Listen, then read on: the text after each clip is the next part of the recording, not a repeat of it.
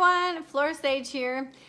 So today's the first of the month, and I have been getting a lot of emails from people saying, Flora, I know it's the first of the month, and because I send out a first of the month like goal reminder and whatnot, and so I've gotten a lot of responses from that. And if you're on my email list, you should have gotten it.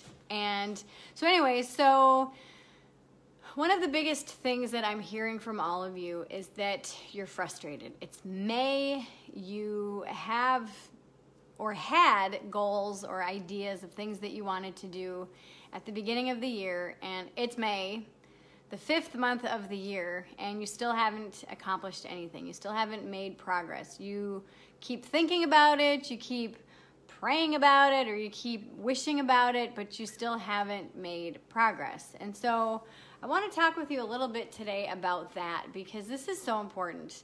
So, if you've made a goal for yourself and you say, okay, so I want to lose 10 pounds or I want to gain five clients or whatever, um, ask yourself, is that a true priority for me right now? If it is a true priority, okay, and this is something that we talked about just a few days ago. Um, if it's a true priority, really ask yourself, okay, so why am I choosing? Sorry, I have a hair in my eyeball um, why am I choosing to not take action? Okay. Um, why am I choosing to not take action? And you got to really give yourself permission to take personal responsibility. Okay. During today's planning party inside the Mastermind Mafia, we were talking about personal responsibility. And we were talking about a topic that triggers a shit ton of people. Okay. We were talking about weight and being overweight and being obese or morbidly obese. And we were talking about the difference between fat shaming and genuinely being concerned for someone's health uh, while you bring up that person's weight. And it was a very interesting conversation. And and it all came down to taking personal responsibility. And so you are the creator of your life. You really are. Uh, some people could argue that and say, no, that's bullshit because I have a partner or a spouse. Um, I have kids. I have all these other things that are influencing things in my life. And so I'm not the creator of my life. Well, yes, you are because you are choosing how you raise your children. You're choosing how you interact, how you interact with your partner or boyfriend, girlfriend, husband, spouse, wife, however you choose to label that person. Um, you're choosing how you show up in your business. You're choosing how you show up with yourself.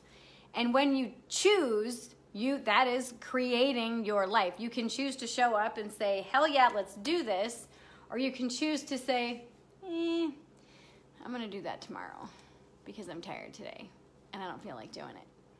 And whatever. You know, yesterday I didn't feel like working out, but I sat my ass on my bike. I have an um, recumbent bike over there, as you can see. Well, maybe you can't see because my plant's in the way. Anyway, I have a recumbent bike. so I'm actually going to plug my phone in. So I didn't feel like it, but I sat my ass down and I worked out for 30 minutes on my bike. And I did it because I knew that fitness and health is a priority for me. I a lot of the times don't feel like doing stuff. A lot of the times I don't feel like working out, but I do it because it feels good. I feel stronger afterwards. A lot of the times I don't feel like cleaning my toilet, but I don't want to sit on a dirty toilet, okay? So there are things that we do in life that we know we want to do or have to do, but we may not feel like doing them, but we just do it anyway. And the interesting thing is that those things that are going to make the biggest impact in our life, those are the ones that people don't do the most. Like getting out of debt, like cutting up a credit card or deleting your credit card on your device. Because you know how, like, when you go to Amazon.com or you go to Etsy or you go to some of these other places that you frequent and you're credit card is stored or your debit card is stored in your device. And so when you go to check out, it automatically populates the number and you can check out within a matter of moments.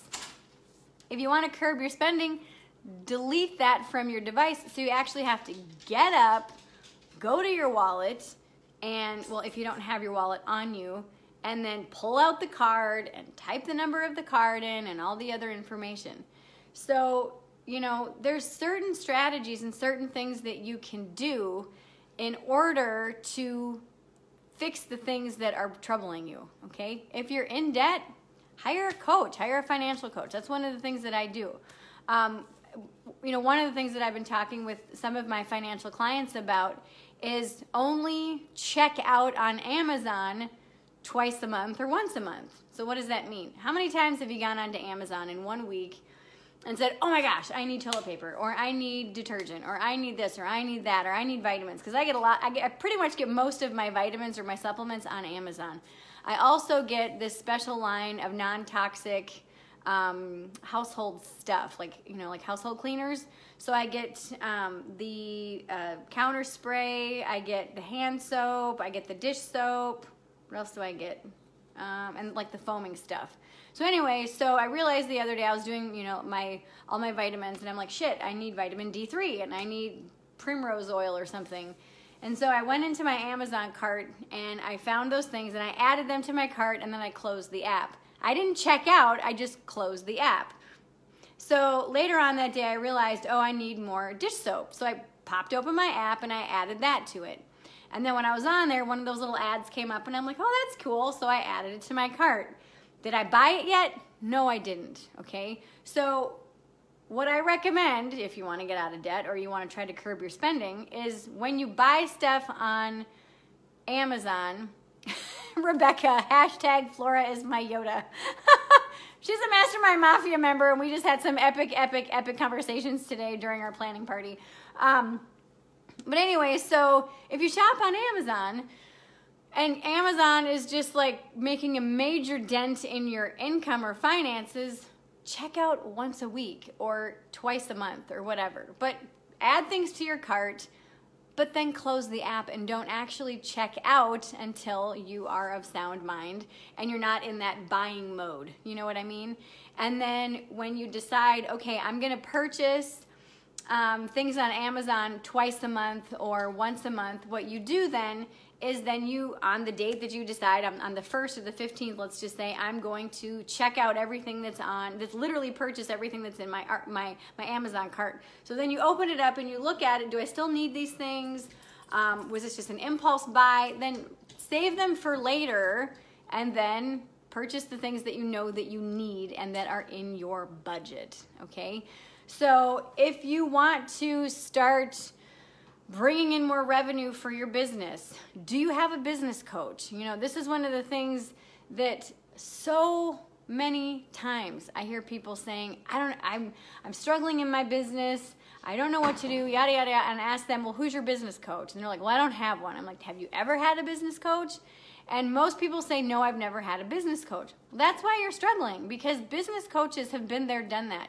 You need to hire someone, or I recommend that you hire someone who's in relatively the same niche as you, who has been there, done that, who has done what you want to do because they know how to do it. They can walk you through and help you through all the bullshit and all the things that you don't need to do.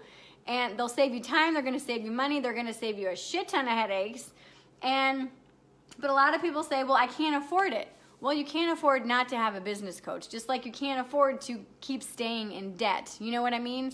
And so this is one of the things is you got to give yourself permission to know what you know and then know what you don't know, you know? And that's going to help you get things done in your life. Um, if you want to lose weight, have you ever successfully lost weight before? If the answer is yes, perfect. Do what you did before if, as long as it's healthy. Like I wouldn't recommend starving yourself and then like this one lady I saw on I don't know one of those memes or something. Um, is she lost like 50 pounds on popcorn and beer. I wouldn't recommend that because in my opinion that's not a super health that's not a healthy way at all to lose weight. But it worked and apparently she kept it off for years. So if you want to lose weight and you've never been able to lose weight before, hire a coach, hire someone that can help you with your goals. And they're going to help you first and foremost figure out where you are. So you, okay, this is where you are. Where do you want to be?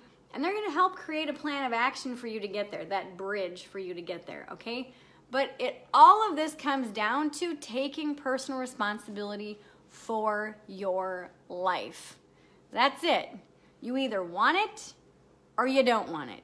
If you want it, whatever that it is, whether it's being out of debt or having savings or um, finding a mate or creating a business that's thriving or whatever it is, whatever it is, that goal that that that big elusive goal that you really want to to do and achieve, ask yourself, have I ever done this before? If no, find somebody who has and ask them to take you under their wing to show you how to do it. There, there are free mentorships out there. There are paid mentorships. There's free coaching. There's paid coaching. There's classes. There's books. There's a shit ton of YouTube videos. I mean, if you don't know how to do something, Google it. But one of the fastest ways to get results is to hire someone who has done it before.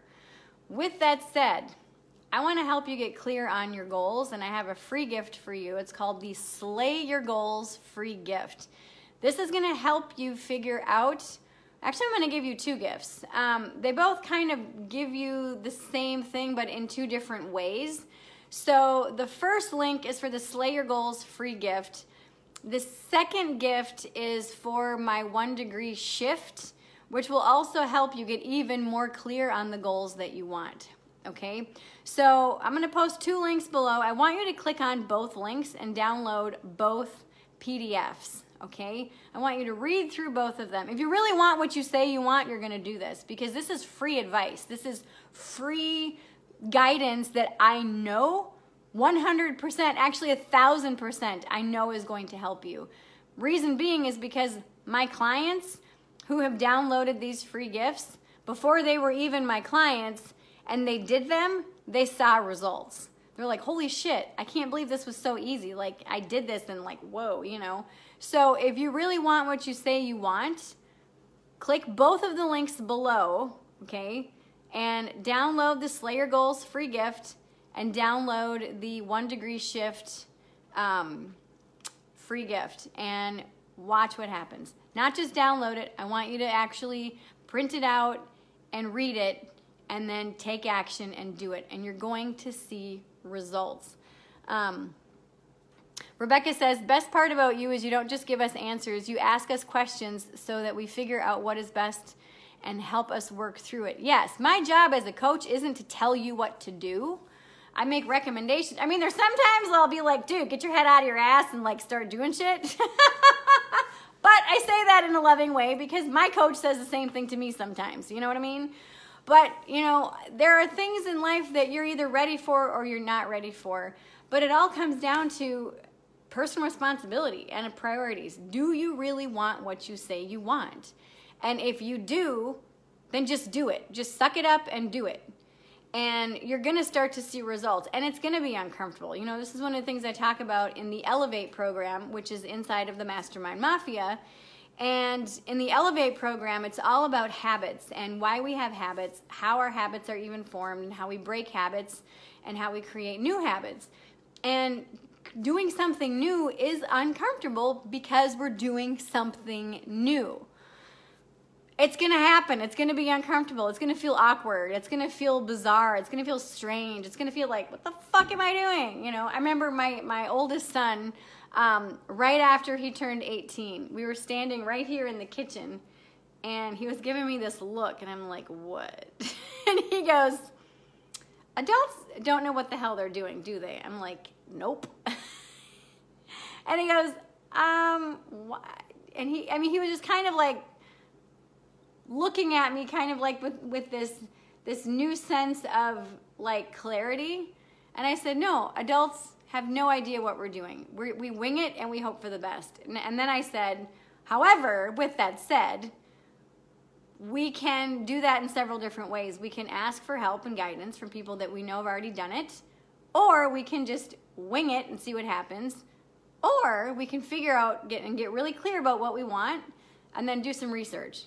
We can Google it or go on and do like a search on YouTube or something and start to research different ways to do certain things and then try it out. But no, I mean, half the time adults don't know what the hell we're doing. We just try to figure it out. But the cool thing is when you do start to figure it out and you do start to recognize patterns and you do start to recognize that life is all about taking personal responsibility and just deciding to do something and then just do it.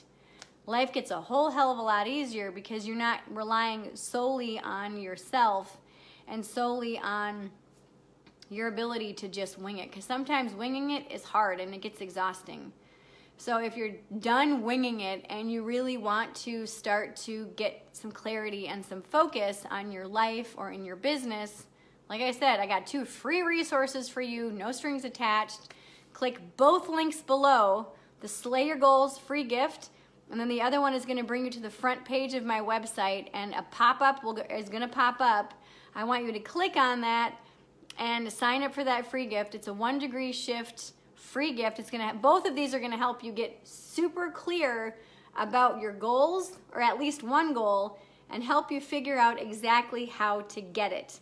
Now, after you sign up for these free gifts and download them and read them and do them, if you want my help, I want you to send me an email, flora at florasage.com, or private message me here on Facebook.